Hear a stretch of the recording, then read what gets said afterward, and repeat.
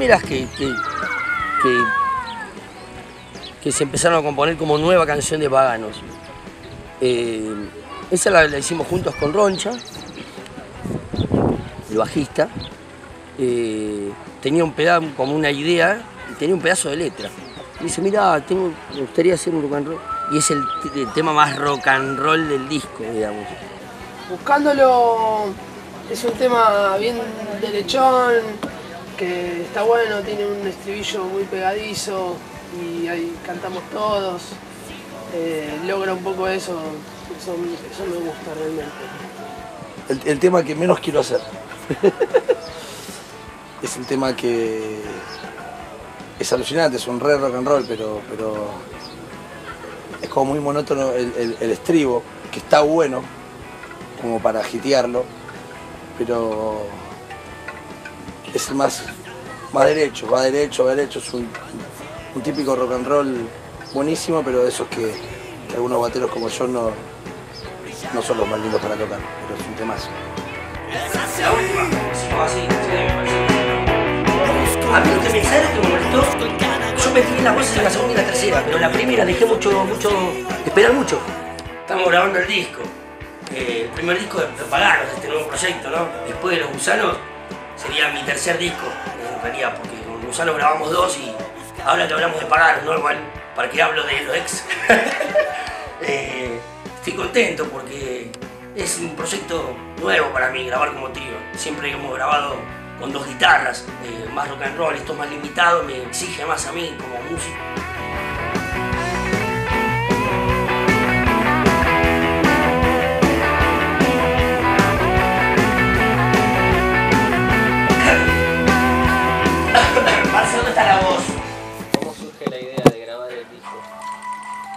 No, vos sos un pelotudo.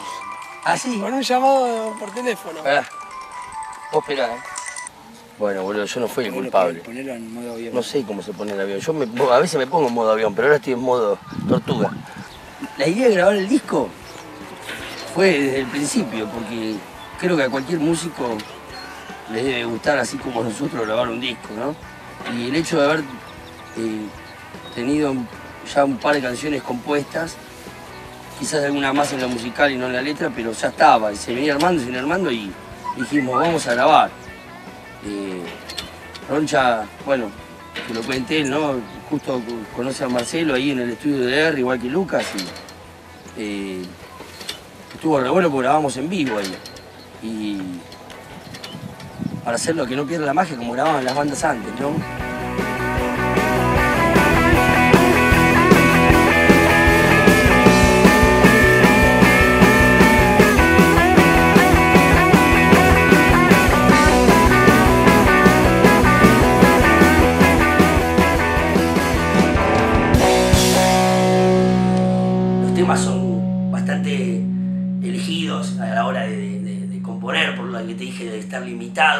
Para un trío. Eh, tiene, el cuerpo es muy bueno, el la bate y bajo se llevan muy bien, entonces me deja muy libre a mí para poder hacer lo que quiero. Bueno, ahora cuando dé el ok probamos el tema bien, de vuelta. Mejor tocado, ¿viste? que el pífero batero. ¿Qué dijo? De vuelta.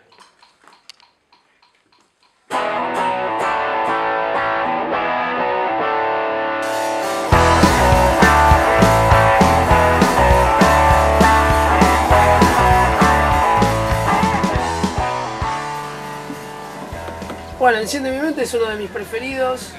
Eh, no sé, tiene como una onda ACDC de Bon Scott. Eh, me gusta que es repolenta de principio a fin como que no baja nunca y es está como en la púa. eh, es uno de mis preferidos ese. Tiene power, ¿viste? Y más para un trío. Pagano tiene ese eso de bueno de trío. La compuse con mi amigo Facundo Mancilla, eh, justo en la etapa final de Los Gusanos. eh, y quedó, a mí me gustó, la quise continuar. No quiere que quede guardada ahí en el tintero. Decidí continuar con la canción porque me parecía que estaba bueno para el trío. Es como el tema más de- para mí, ¿eh? de, de la banda. Es un rocazo de la concha de lora. Para tocarlo está buenísimo. Está bueno lo que dice la letra. El bajo también está buenísimo. Es un tema que, que disfruto mucho tocarlo y disfruté mucho grabarlo también. Grabar ese tipo de temas como grabamos nosotros, que grabamos en vivo, como graba la banda de rock and roll, está buenísimo, está buenísimo.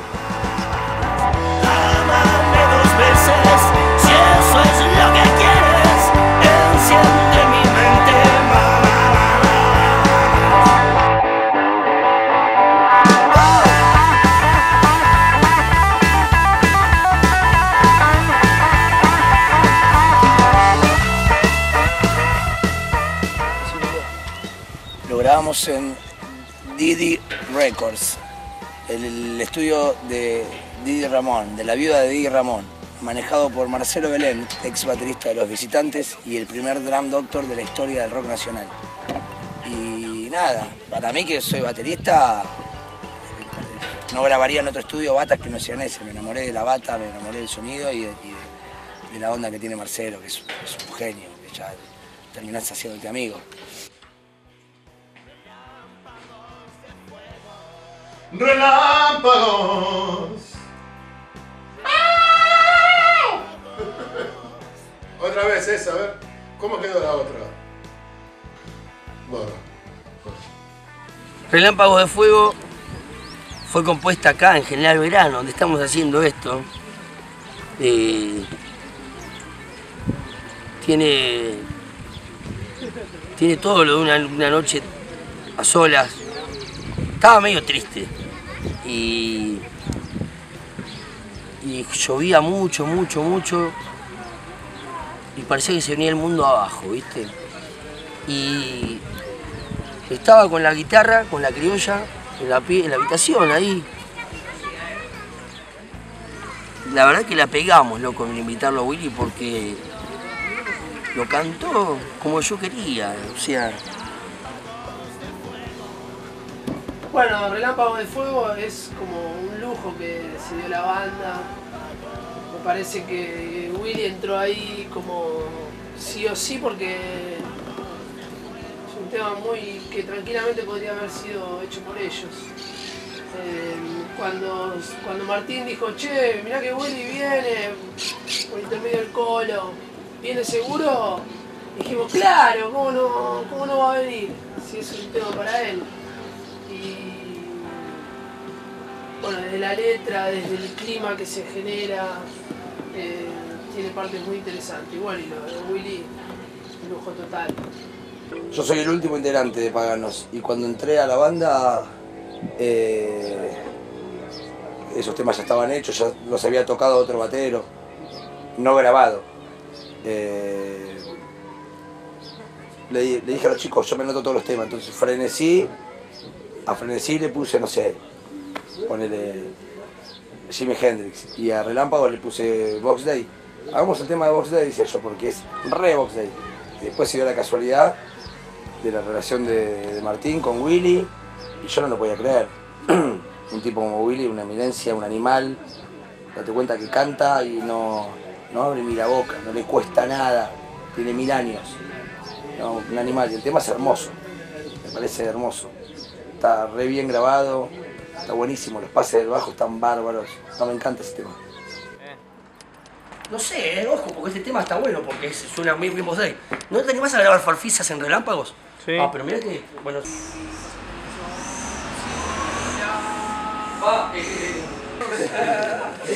¿Querés que meta yo una voz No, de irme? usted tiene que grabar las voces. Y después hacemos toda la música. meto, ¿sabes qué meto? Para mí, ¿eh?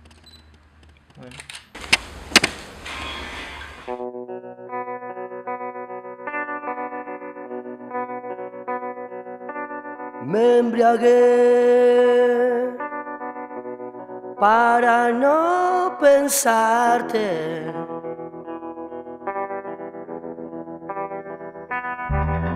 Son las tres, casi no respiro. Y una tormenta dejó relámpagos de fuego.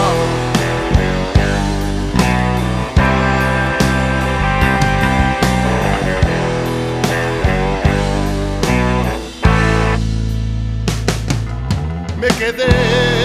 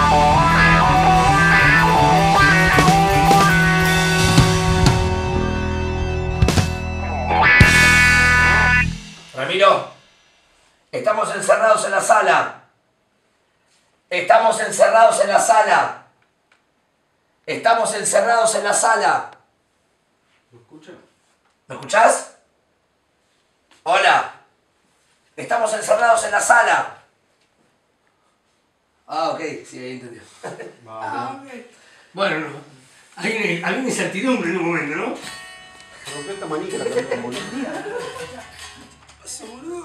Che, vos, ¿qué mirás? ¡Cara de mami!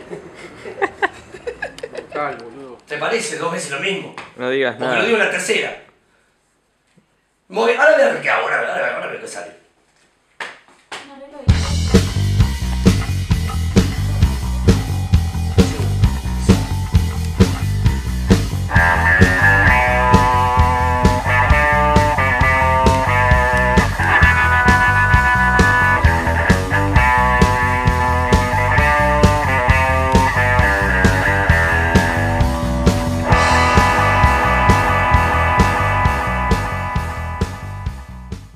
Che, vos que mirás. Ya te lo digo muy como agresivo, ¿no? Es el tema más violento del disco. Creo que las influencias de esa canción yo las tomaría que vienen del lado de Sumo. de Lucas Prodan. Vos decís, ¿por qué que tiene- no tiene nada que ver en realidad? Pero sí de donde yo pienso que tiene que ver. Che, vos que mirás, cara de mami. Eh, las canciones que tiene el disco son, totalmente distinta a todo. Es la canción más agresiva que, que escuché en mi vida. Martínez, al principio me acuerdo, mira, recuerdo, no sé si lo contó él ya, pero lo voy a contar yo. Cuando lo escucho en el, en el- en el tema por primera vez en el ensayo, che, vos que mirás, que, vos que me mirás, y, y tiré una frase, no me acuerdo cuál era, pero una frase como re agresiva. Y yo le digo, está bueno, pero se le puede, se le puede poner un poco de, de comedia. Entonces, ¿qué mirás? Cara de sapo. Cara de sapo dicen los nenes y se cagan de risa. O decir, ¿qué mirás? Cara de mami. Y quedó bárbaro, nos cagamos de risa nosotros en el ensayo, pensando que, no, que estábamos improvisando y terminó quedando en el disco. Y nada, es muy, el tema más, más fuerte, me parece, de la banda, más fuerte a nivel potencia. Está bueno, está bueno. ¿Prende esa? Para que la mía ya viene. ¿Prende? ¿Prende la eco o no? Esa. Bueno, che, eh, vos que mirás, es un tema oscuro, medio que arranca con, con un riff, eh, también de viola y bajo, bien de trío, eh, violento. Al principio, cuando lo tiró a la cancha Martín, que dijo, che, tengo un tema así, ya, ya nos cagamos de risa. Pasa, pasan como dos cosas, como o te reís o, y te re gusta o te parece un tema raro. Pero como va pasando y de repente eh, entra la melodía de la guitarra. eh, es un tema que también me gusta mucho. Que es la primera vez que grabo o toco con delay, porque no, era un pedal que usaba. Y me trajo un montón de cosas modernas a mí como, como músico.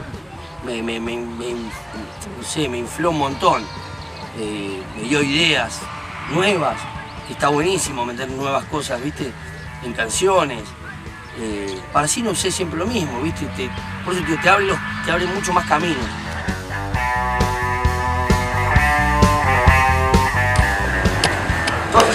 Quién son. Mirá, voy a poner de entrada, solo de entrada.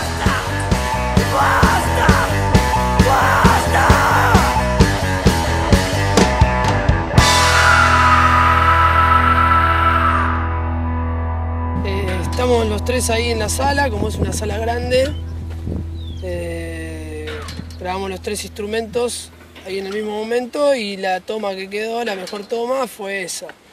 Tampoco hicimos muchas tomas, creo que hicimos tres, tres tomas de cada uno como máximo, que Marcelo quería dos. Entonces le dije, bueno, hagamos tres. Y la mejor o la elegida fue la que, la que quedó en el disco. Lo hicimos eh, en dos sesiones, En me dos acuerdo, días. Dos días. En dos días grabamos el disco. Eh, Pasamos eso. Así simple. Mi sonido eh, lo grabé de línea en, en ese momento. Estaba bueno no, no alquilar un equipo o, o no tener el equipo ahí eh, que, que genere ruido o que se meta en la batería. Después lo pasamos por un Bassman, un 135, que es, es un equipo que yo ya tenía y bueno, lo hicimos en otro lado, pero eh, genial, es el audio que, que andaba, andaba buscando el bajista. ¿Cuál es tu tema favorito? Sí, no sé, boludo. Qué buena sé. pregunta. Eh, solos en la calle, diría. ¿Por? Tengo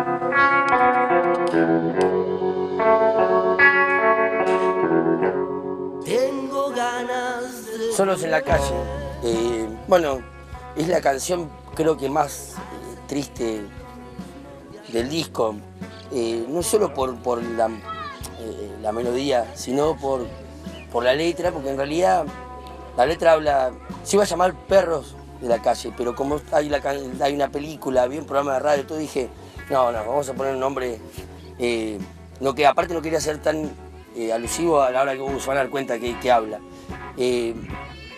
Quería usar más la, metáfora en el nombre y habla de los perros de la calle eh, que quedan abandonados por la gente, bueno, no sabemos lo que queremos mucho los animales, ¿no? Eh, con mi madre estaba bien, hasta que alguien me arrancó, por eso termina así la canción, la letra, ¿no? Eh, así que usé un trémolo, voz, y usé un poco de guagua, Es uno de, también de los que más me gusta porque, mm, no sé, no es cuadrado, tiene como su, su, su trémolo, su, su guitarra ahí que va como para atrás. eh, un tema muy Lennon solista. eh, es uno de los que más me gusta. Para mí, el- para mí es, es el mejor tema de, de la banda. Ese relámpago. Soy medio putito porque me gustan los temas más lentos, pero aquellos te habrán dicho que es un tema bien Lennon. Y para mí es. Yo le encuentro, le encuentro un parecido a Paul. Aunque sé que es Lennon y lo hago para llevarles la contra. Pero nada, es un tema que es alucinante. Me encanta, me encanta. Para tocarlos para tocarlo está buenísimo. Está buenísimo porque puedes no hacer nada en donde muchos harían de todo. Nada, me encanta.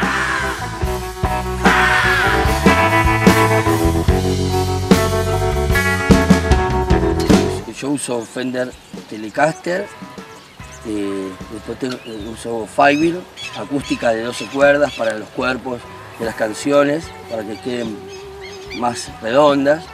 Eh, pedales, uso Wawa Box, eh, el Tube Screamer, eh, el trémolo y ahora se sumaron dos más en la familia de los pedales. Está el delay y por último me compré el Univive que usaba Jimi Hendrix y bueno, el equipo usó Fender, pero en el disco usé Marshall.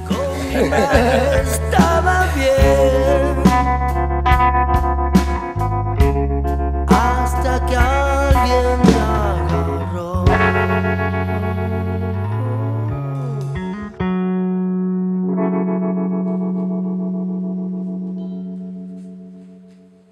Tendría que pinchar una cosita que me equivoqué en la letra, una sola.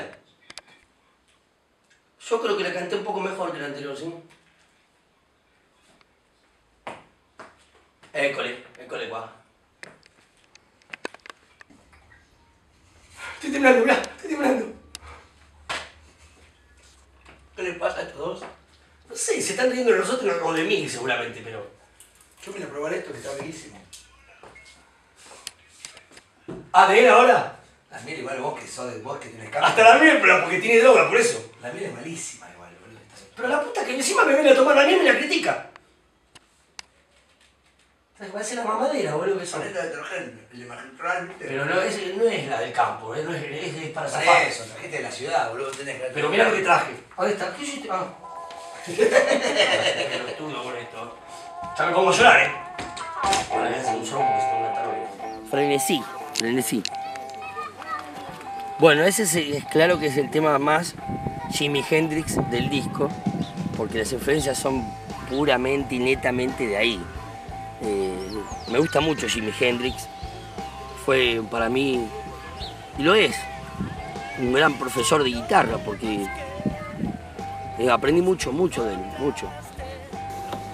Frenesí es como que arranca con un riff eh, y es ta ta ta ta ta ta ta y eso le da mucha polenta, bien de trío. me hace acordar por momentos una onda entre Jimi Hendrix y Charlie García, nada que ver, pero tiene como una onda así. Y bueno, si te gusta Jimi Hendrix, sabes que un Foxy Lady, un poco de acá, un poco de allá. Eh, hay mucho guagua, mucho guagua. Frenesí está bueno. Es un tema que mm, también es como buscándolo. Me gusta, pero es siempre con el que abrimos los shows. Está bueno esa. Martín me dice que es como una metralleta. Ta ta ta ta ta ta ta ta pum, pum. Él quiere hacer así con la guitarra, como que le dispara a la gente, me dijo. Entre sus locuras. Pero está bueno, tiene ese. esa mitad ahí en el medio que el cheite de ese tipo Jimi Hendrix, que está bueno, para mí es más, eh, es más Iron en la primera época, en los 80. Tiene esa cosa así de, de rock and roll viejo, de, de- de- cosa de Stewart de, los fines de los 70 a los 80, que me encanta. Pero hay otros temas que me gustan más. Pero nada, el disco me encanta en su totalidad. Y los chicos metieron un coro, unos coros bárbaros, o sea, Roncha y Cirilo metieron unos coros que aparecieron en el momento, porque no fue estudiado. Pero es un coro, un coro, un coro así como muy, muy celestial, llamo yo, muy de la iglesia, ¿viste? Pero la iglesia gospel, ¿no? ¡Oh! Entonces, bueno, está buenísimo, quedó buenísimo. Es uno de los temas que me gusta tocar mucho en vivo, porque me puedo expresar, puedo, puedo tocar la viola, viste, mucho y me gusta tocar la viola, ¿eh? mucho me gusta. Te digo que me gusta más que cantar, imagínate. Pero me gusta cantar también y me gusta eh, ser el cantante, ¿eh? Eh, me gusta tomar ese papel, viste. Eh, todavía no lo puedo hacer 100% bien, pero sé que de a poco voy a ir mejorando, ¿no?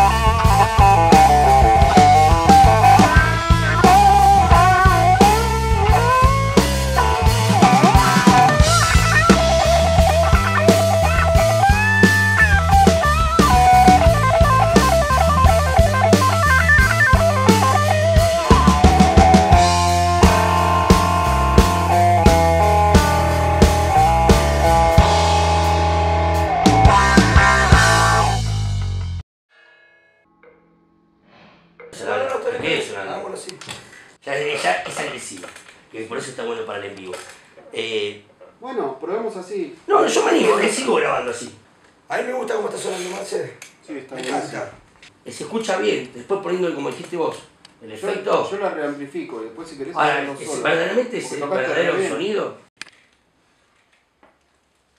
Toma dos. Seguro que me vas a decir.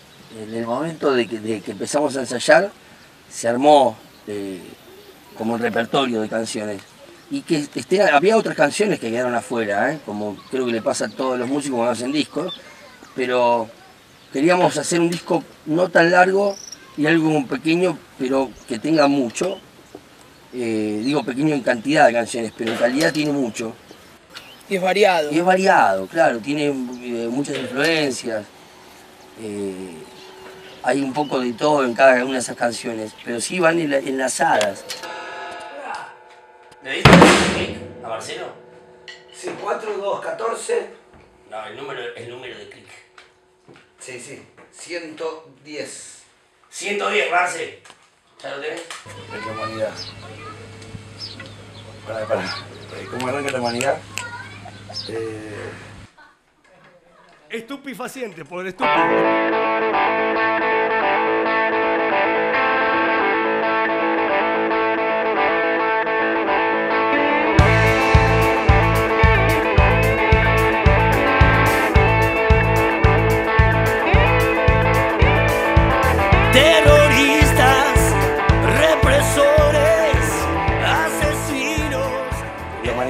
Bueno. Es, eh, arranca medio. Es el, es medio es- me, parece que es el más moderno, así de. Para lo que es el rock hoy. De bombos negras y hi-hat abierto tipo Jamiroquai. Es el tema más, más Bruno Mars de, la, de Paganos. Está buenísimo, me gusta mucho. La humanidad lo que tiene de interesante es ese eh, clima bata y bajo eh, que van por un lado y las guitarras, las guitarras que grabó Martín, las dos guitarras, van por otro y eso le da como mucho swing con los bombos, bombos negras. eh, logra algo, no sé, muy, muy distinto a lo que tiene todo el disco.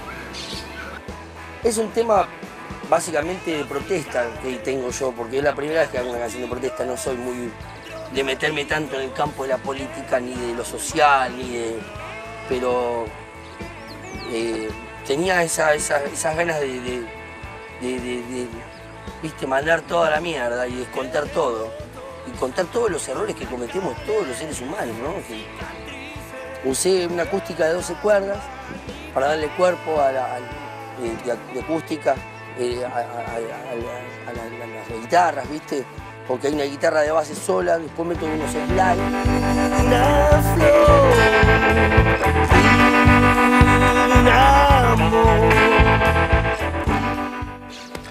La mayoría de las canciones las, las, las hice yo, pero eh, en realidad los tres somos partícipes de, de- componer, o sea, eh, Lucas mismo nos transformó canciones en otras no sé, era de una manera y, ¿por qué no lo haces así acá mejor? Y se transformó.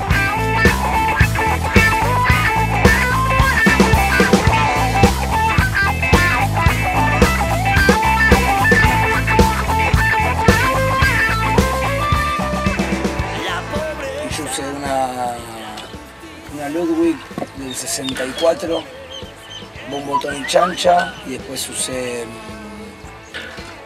usé un tacho, usé un Supraphonic mío que está buenísimo, y eh, usé un Rogers Roger es una barba. del No, 76, es era- 84 creo no, es. 84, 84, un Rogers de Marcelo, alucinante, y después un otro Ludwig que tenía Marcelo que también usamos, muy bueno, y después platos todos Silgian, como siempre, y medias Silvana, ¿no?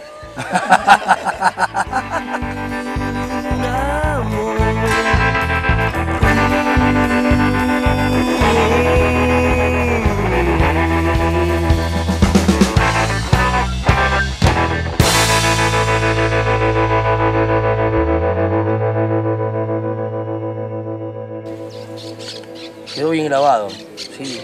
Las guitarras, a mí, bueno, yo hice un cambio. Yo grabé todo con Marshall, cuando siempre grababa con Fender. Y la verdad quedó rockero, quedó ese sonido. bien marcado. Fue engañado, Martín. Sí, sí, fue engañado. Pero quedó muy bien. Sorprendido. Una de las últimas. Qué lindo. Che, bien, ¿no? Tenemos un disco de la concha de Lora, loco. Este ¿A dónde vas a ver? Tengo un ensayo Beatles. Con los, los, los, que- los cuatro que hicieron No, los cuatro fantásticos. Tengo un ensayo Beatles, todo improvisado y después tengo un ensayo Zeppelin para lo de eso. Lo que me contaste es, eh, sí, de Zeppelin. Dejá de laburar, hijo de puta, dejá de- ¡Dejá de laburar! ¡Cara de mami! Voy a despegar. eh, es la canción más eh, rock and rollera, le llamo yo, en el lado más eh, del mundo Rolling Stone, ¿no? Viene de la influencia por ahí. Y la compuse, de hecho, en una época que estaba con la anterior banda, que hacíamos más Rolling no convocamos con paganos, que hacemos más otras cosas. Me vivo a La Plata, eh, tenía que encontrarme con, bueno, estaba mi mujer con amigas y, y estaba, estaba medio enloquecido. y manejaba y bueno, nunca encontraba la esquina, por eso hice, bueno, por eso voy a despegar, ¿viste? Y en el alcohol no me creen, mira, está cerrado, está cerrado, whisky. Whisky, whisky y rock and roll. Bueno, bueno ahora que salgo yo. Vos seguís grabando. Ahora después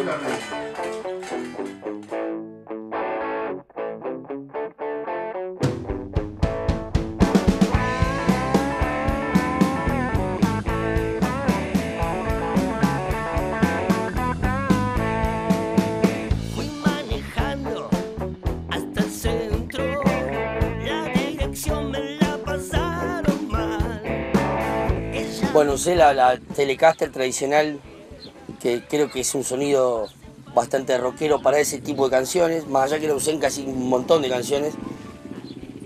Eh, eh, hice arreglos bien, bien rolistoneros, eh, rockeros, más por el sonido que tiene particular la Telecaster. Usé.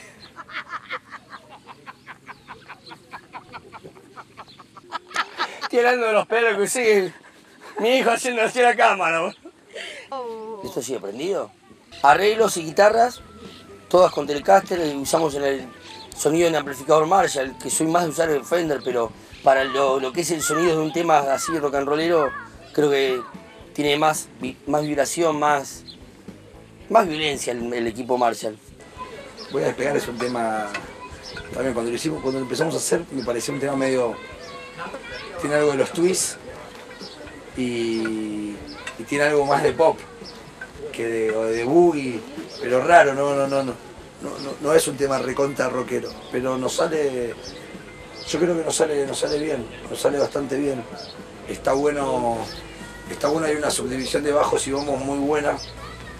Cuando lo escuché por primera vez me pareció, bueno, nada, tiene ese riff bien rockero de, de la onda carámbula, eh, como bien rockero, bien establecido el riff entre el bajo y, la guitarra, eh, y después tiene como una parte que, se va para otro lado, con, la viola ahí, bueno, muy rockero. Está grabado bien rockero todo el disco en general. Y en Voy a despegar se nota la bata. Se nota el, se nota el tono, se nota la chancha, se notan los, los patrones esos que te, hacen darte cuenta que es una bata. Se preparó una bata para un disco